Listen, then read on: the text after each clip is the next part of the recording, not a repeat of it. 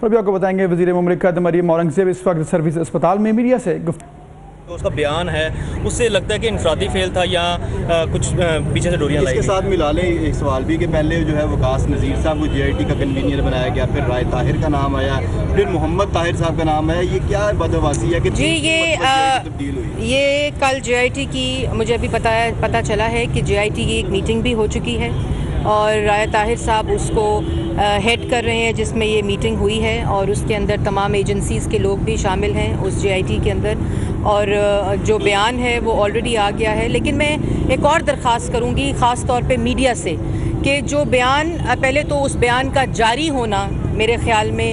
غیر اخلاقی تو ہے ہی لیکن لیگلی بھی اس بیان کا جاری ہونا نہیں ہونا چاہیے تھا۔ کیونکہ ایک انویسٹیگیشن ہو رہی ہے، ایک اسیسنیٹر ہے، ایک قاتل ہے جس نے اٹیمپٹ کی ہے انٹیریئر منسٹر کے اوپر اٹیک کیا ہے، وہ آپ اپنی ٹی وی سکرینز پہ لگا کے اور جو وہ بول رہا ہے، وہ ہیٹ سپیچ کے زمرے میں آتا ہے۔ تو میں آپ سب سے درخواست کروں گی، کیونکہ کوئی چیز ایسی کی ہوئی جو کسی کی زندگی کے نقصان کا باعث بن سکے، اسے ہم سب کو اجتماعی طور کے اوپر میڈیا کو بھی، اور ہم سب کو اس کو اوائڈ کرنا چاہیے، تو پہلے تو میں یہ درخواست کروں گی۔ میں نے پیمرا کو بھی کل کہا ہے، میں نے پی بی اے سے بھی درخواست کی ہے کہ وہ ویڈیو نہ چلائیں۔ اور وہ انویسٹیگیشن ابھی جاری ہے گجرا والا اس کو ٹرانسفر کر دیا گیا ہے۔ جو اٹیکر ہے، اس کی انویسٹیگیشن کے اندر اور کاؤنٹر ٹیررزم جو ڈپارٹمنٹ ہے، وہ اس کی اس وقت انویسٹیگیشن کر رہا ہے۔ جی I T, J I T کی پہلی میٹنگ ہو چکی ہے اور اس کے جو بھی تفصیلات ہوں گی، وہ خود انٹیریئر منسٹری اس سے لوگوں کو آگاہ کرے گی۔ اچھا میم کوشچن وہ رہ گیا کہ تین مرتبہ جے آئی ٹی کا سربراہ تبدیل ہوا۔ آپ نے کہا کہ رائے طاہر اس کو ایڈ کر رہے ہیں جبکہ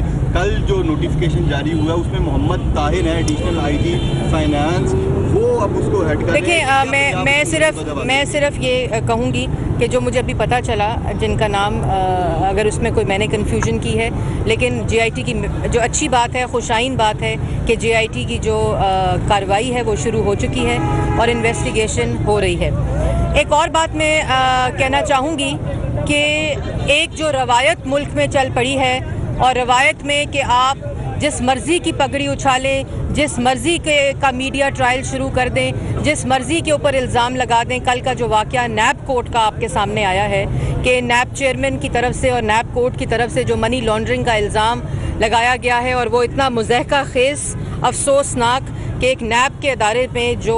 کرپشن کو انویسٹیگیٹ کرتا ہے، وہ میڈیا کی نیوز کے اوپر اس پہ نوٹس لیا گیا اور اس کے اوپر انکوائری کیا حکم جاری کر دیا گیا ان کے بورڈ کی طرف سے۔ تو یہ میں اس کو کنڈیم بھی کرتی ہوں۔ لیکن بات یہ ہے کہ آپ اس چیز کو دیکھیں کہ ایک کالا قانون جو پہلے ہی ایک ڈکٹیٹر کا قانون ہے، لیکن اس چیز کو licence to kill licence to کہ آپ کسی کی آپ کو ایک لائسنس دیتا ہے کہ آپ کسی کے اوپر کوئی بھی الزام لگائیں۔ ایک دو سال کا جو کٹھن ٹرائل ہے، وہ نواز شریف صاحب نے اس کو پورا کیا ہے، جس کے اندر Supreme Court J I T پھر جے آئی ٹی اس کے بعد نیب کورٹ کا ٹرائل چھ ریفرنسز اٹھارہ گواہ، اس کے بعد مقدمے کے انویسٹیگیشن کے اندر توسیع پہ توسیع۔ کل پھر اس کے اندر توسیع مانگ لی گئی ہے اور اس کے بعد جو جج صاحب ہیں اور جو نیب ہے وہ یہ کہتی ہے کہ ہم نے جلدی اس کا فیصلہ کرنا ہے۔ تو ہمارے جو لائر ہیں انہوں نے کہا کہ نہیں، آپ پہلے ہماری، ہمیں بھی اتنا ہی ٹائم دیں جس ٹائم کے اندر آپ نے جو نیب پروسیکیوٹر ہے اس کو ٹائم دیا ہے۔ اور پورے دو سال میں یہ بھی کہنا چاہوں گی کہ دوسری طرف جھوٹے فیک نیوز کے اوپر نیب کے پاس اب اور کچھ نہیں ملا۔ کچھ نہیں ملا آٹھ مہینے کی انویسٹیگیشن کر کے ایک روپے کی کرپشن اور اس کے برعکس کیا کہ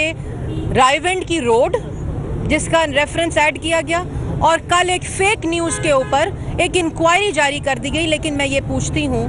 میں آنریبل سپریم کورٹ کے چیف جسٹس سے بھی یہ درخواست کرتی ہوں اور میں چیئرمین نیب سے بھی یہ درخواست کرتی ہوں کہ اس بارے میں کوئی سوال پوچھے گا کہ تین دفعہ منتخب وزیر اعظم جس کا ٹرائل آلریڈی نیب کے اندر چھ ریفرنسز کے اندر ہو رہا ہے، جس میں ایک روپے کی کرپشن آپ کے پاس ابھی تک نہیں آپ کو ملی۔ لیکن اس کے برعکس، اس کے برعکس ایک وہ لاڈلا جو نیب کورٹ سے پارلیمنٹ پہ حملہ کرے تو بری، سپریم کورٹ کے باہر گندے کپڑے لٹکائے تو بری، سپریم کورٹ کے اندر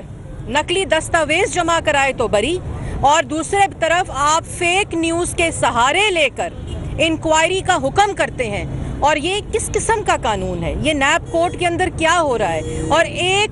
کیس جو دن رات سنا جا رہا ہے، باقی کیسوں کے دوسرے لاڈلے صاحب کے کاغذ ہی گم ہو جاتے ہیں۔ ایک کیس جو دن رات سنا جا رہا ہے، جس کے اوپر توسیع پہ توسیع ہو رہی ہے ریفرنس کے اوپر ریفرنس جاری کیا جا رہا ہے۔ فیک نیوز کا سہارا لے کر فیک نیوز کا سہارا لے کر الزامات لگائے جا رہے ہیں۔ قصور اس لیے کہ پاکستان کی عوام نے محمد نواز شریف کو وزیر اعظم بنایا۔ ایک دفعہ نہیں، دو دفعہ نہیں، تین دفعہ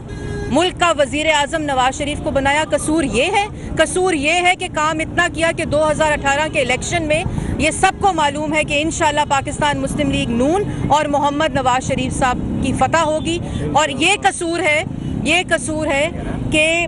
پاکستان کی عوام جہاں جاتے ہیں سمندر امڈ آتا ہے۔ اس لیے فیک نیوز کا سہارا لے کر اتنی شرم نہ